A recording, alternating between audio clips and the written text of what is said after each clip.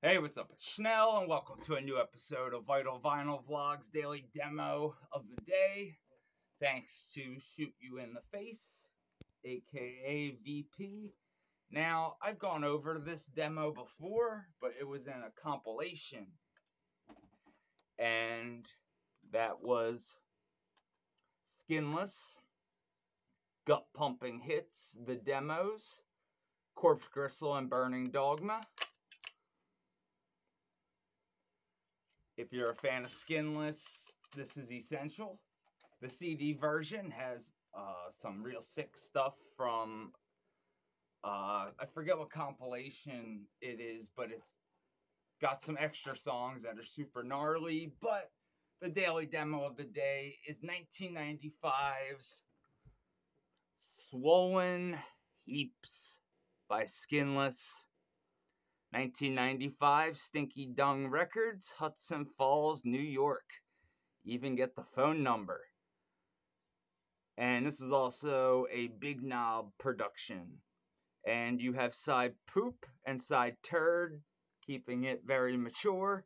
But this is some straight up awesome New York death metal. And if you're a fan of Skinless, I don't have the original cover, but these things happen. But if you're a fan of Skinless, like for real, it's definitely probably their best material. Like as much as I love like progression towards evil, it's you know like for a demo, it's just you know just a lot sicker. But I do love the first record to death.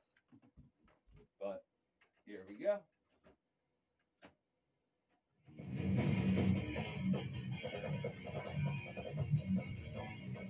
Yes.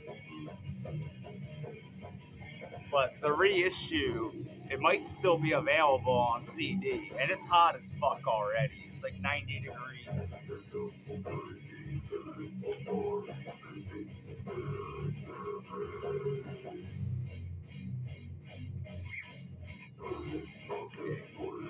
There's the original art for Swollen Heaps.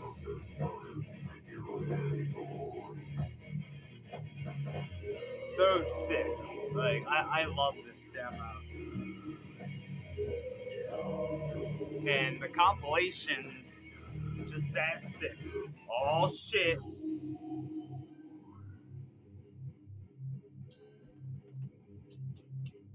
This part is just crushing.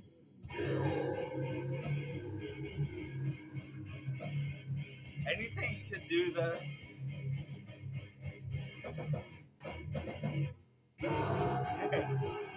I. But I love skinless. Especially that early stuff. All killer, no filler. And especially with the Swollen Heaps demo, it's like you I understand why Skinless was one of the biggest death metal bands for a little time. Like and you might be like, what are you talking about? Like, I remember, go check out the old Skinless DVD.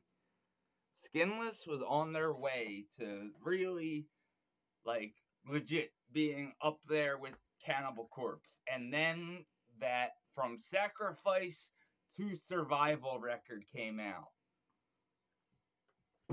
What the hell, guys? Ugh. And the guy that did, I forget the vocalist name, but uh, he's in Origin now, along with uh, John. The last I checked, John was doing drums for Skinless for a minute. But uh, when I played with Skinless, he was on vocals. It wasn't uh, Sh- um, Sherwood. Is it Sherwood? I'm sorry. One sec. I always forget if it's Sherwood or Sher. I'm pretty sure it's Sherwood. Yeah, Sherwood Webber. I for some reason I thought it was something else. I'm sorry.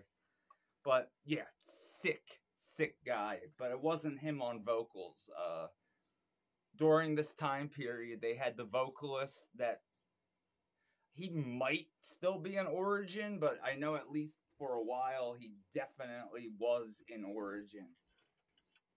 And so was Skinless's drummer, uh, John, at the time. But uh, that was a good time. That show, like, got to meet Will Rahmer and shit. Like, it was sick.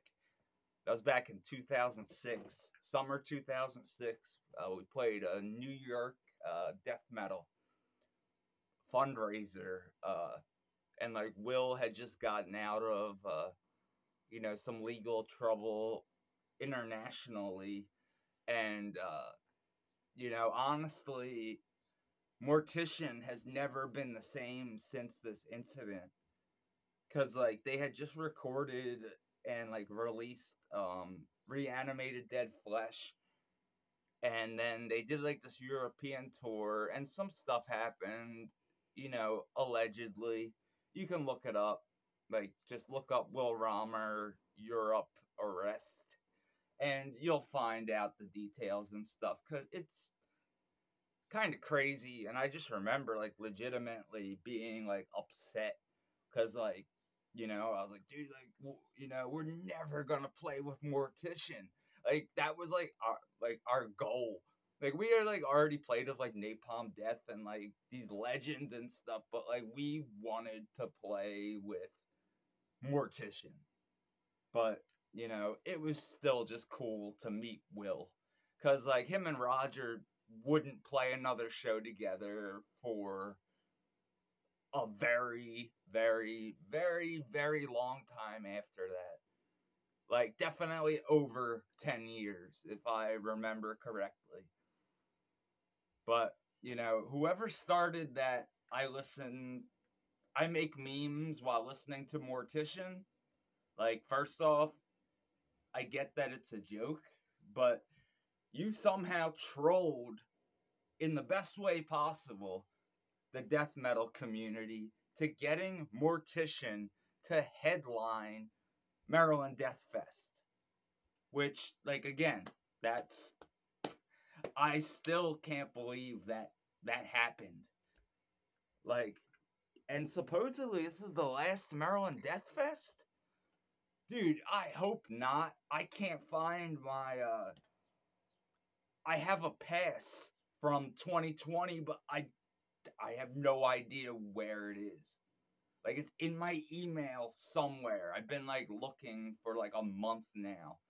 So I I might hit up Ryan and I, I don't know who even is in charge of MDF. But like I just want to make sure my ticket's still good. Cause like I, I do want to go at least for one day. I one I, I need to pick what day it is, but either one or two days. Cause I can't do the full like with my injury, I can't be on like that. It's just too long, and I don't know what Maryland's you know rules are with like you know smoking and stuff, and I want to be able to take my medication if I have to. But I know if I'm at a festival, they'll be like, "Oh, you, you're just trying to smoke." It's like, no, I'm in extreme pain right now, and you know, there's no re-entry or something. That that's what happened at the Decibel Metal and Beer Fest. Like, I snuck my shit in, and they were like, "Oh, like no re-entry." I'm like, "Okay." Like, so I just smoked right in front of the security guard, and they didn't say anything. So I was like, "All right, whatever." like, you guys are making a big deal out of it in the fucking line because, like, I I smelled like a weed forest and like the security guard like legit was like uh blah, blah, blah, you know and i had like my neck brace on and like he's like you're not hiding anything in there are i'm like for real like are you gonna ask me to take my fucking neck brace off like don't be a dick like that's a dick move but it is that is a good hiding spot but that's a dick move like it was like the hospital one at the time like you know, the plastic gnarly one that I was wearing for a while. So I, it was just kind of weird because it's like, dude, really? Like, who the fuck cares? Like, I don't drink, and like, I'm going to a metal and beer festival, so like, half of it is just meaningless. Like I just want to see the bands live, and then here's the thing about the Decibel Metal and Beer Fest: the lineups are insane. The crowd sucks. I'm sorry, but they do. By the time the third band's playing, half the crowd doesn't give a shit. They're so drunk. It, it, it just like you know, and it's annoying because like I remember distinctly being told there's handicap seating and whatnot. Don't worry about it. Like you're good. You're covered. I get there and like I go to the handicap seating and there's people sitting there and I go to the security guard and I'm like, hey, um, I talked to Albert and he said, you know, you guys have handicap seating and he was like, oh yeah, it's a first come first serve, and I was like, but they don't, you know, they're fine. They they were able bodied regular people, like it was like a there's like a guy and his like girlfriend, and like a kind of overweight gentleman, but uh like that that was pretty much it. And he was like, "Oh well, it's first come first serve." I was like, "Dude," and like I'm I had you know this giant fucking thing on. I'm like, "Yo, like."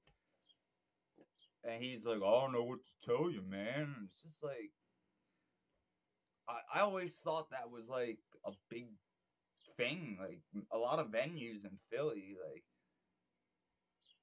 if you were like in a wheelchair, like First Unitarian, there's a back way in.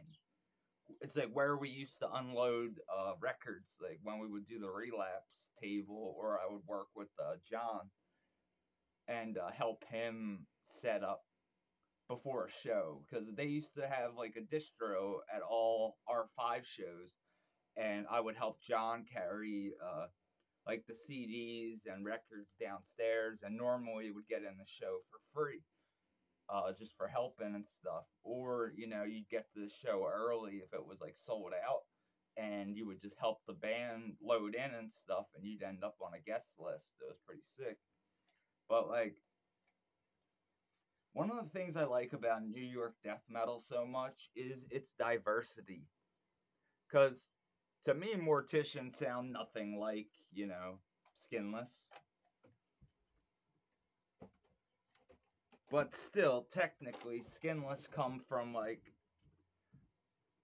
the upstate New York area, like around where like Cannibal Corpse is from. Can- Cannibal Corpse is Buffalo, and I think Skinless is Albany. Like uh, Hudson Falls, New York, I'm pretty sure but later later on, I'm, I'm like positive it was Albany, New York.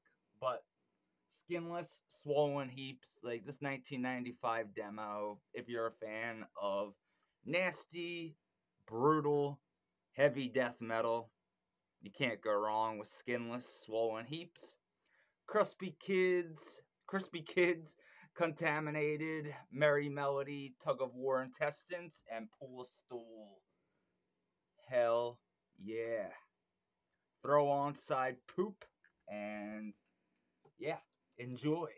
Or maybe you have the gut pumping hits demo collection. Just as good. Like, for real. Absolutely just as good.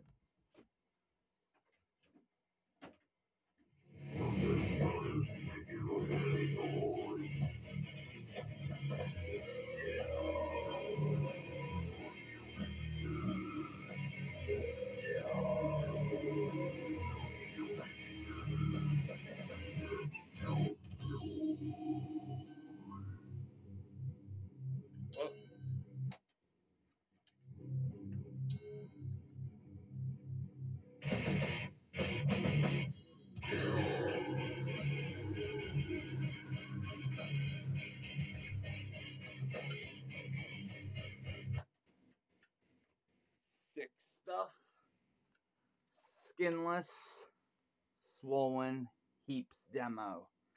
Daily demo of the day. Thank you again to shoot you in the face, and thank you for watching. You fucking rule. Hails.